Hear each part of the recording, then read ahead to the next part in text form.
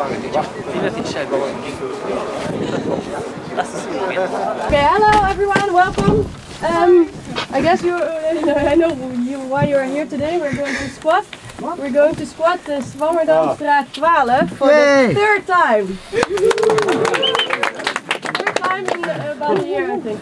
Um, and it's owned by a big uh, LFB, yeah, LFB, uh, that's called, uh, that's the company is called, and they're super uh, speculators, and they're earning lots and lots of money with it, and they destroyed the building after the second time it was, or the first time it was squatted.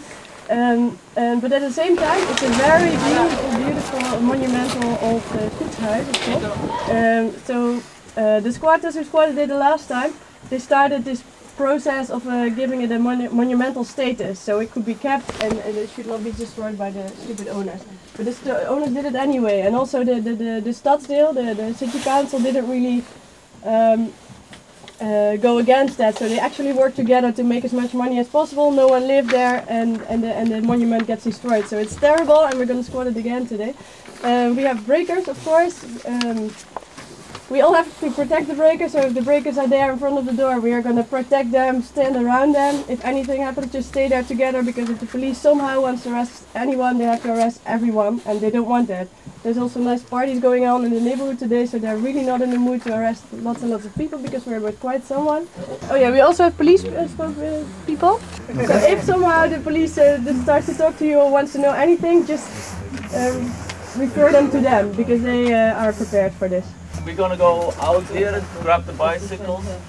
Uh, we're gonna cross the Wibautstraat. Wibautstraat is a busy street and also there's a lot, uh, quite a big chance that some cop some moment drives by. So try to not to get spotted. So one thing, uh, stay together as, as, much as possible so as one group can get over the Wibautstraat. So the people behind catch up, stay, uh, stay in front and the people in front don't go too fast. Uh, so we arrive there as one group. There is a bakfiets near there with a lot of material uh, which will be needed for barricading. Uh, there are two breakers who are going to make, uh, try to open the front door. The front door is a bit barricaded, so there is also two people who are going to go with a ladder through the window. Try to stay a little bit away from them because they have to open the window and the window is a bit broken, so maybe some glass will fall. Um, so while they're going through the window, the breakers are opening the door and as soon as the door is open we get as much material inside as possible. Don't start running up and down to the stairs, make a chain and get the stuff in. Uh, so after we squatted it everyone can visit the house but for the first time people really need to be on the street uh, in order to protect uh, the house, oh, us and the breaker. Het is, uh, het is een kleine moeite. Ik moet binnenkijken. En anders uh, moet de MA naartoe komen. Nou, dat vind ik een beetje... Ja, dat is inderdaad. Nou, dat zal je maar zien.